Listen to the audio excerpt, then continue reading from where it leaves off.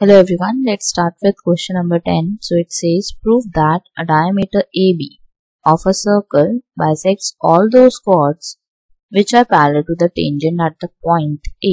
तो यहाँ पे हमने एक कॉर्ड ले लिया और उन्होंने बोला कि CD और MN पैरेलल हैं आपस में तो यहाँ पे सबसे पहले तो हमें ये पता चलता है कि जो MO MAO है वो हमारा 90 डिग्री होगा अभी तक तो आपको समझ आ ही चुका होगा अगर आपने इतने सारे वीडियोस देखी हैं तो।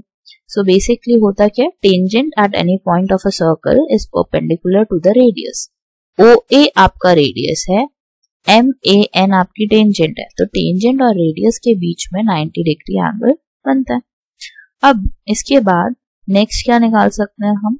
हम बोल सकते हैं कि जो हमारा सीईओ e है, ये वाला angle CEO is equal to M A O ये वाला एंगल क्यों होगा?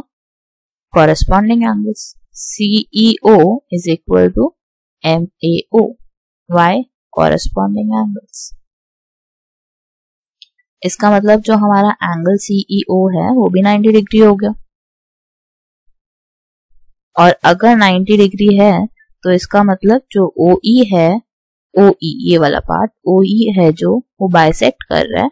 CD को. Therefore, you can write, therefore OE bisects CD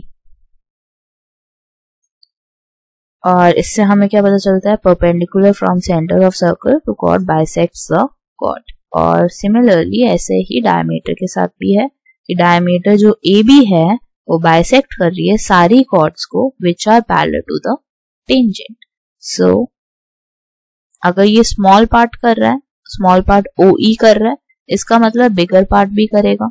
So there you can write in this similarly diameter A B bisects all the chords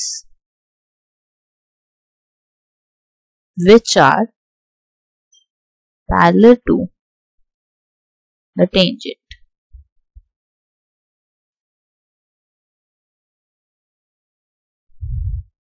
So this is the answer for question number 10. I hope you liked it. If you liked it, please like the video, share with your friends as well. Thank you.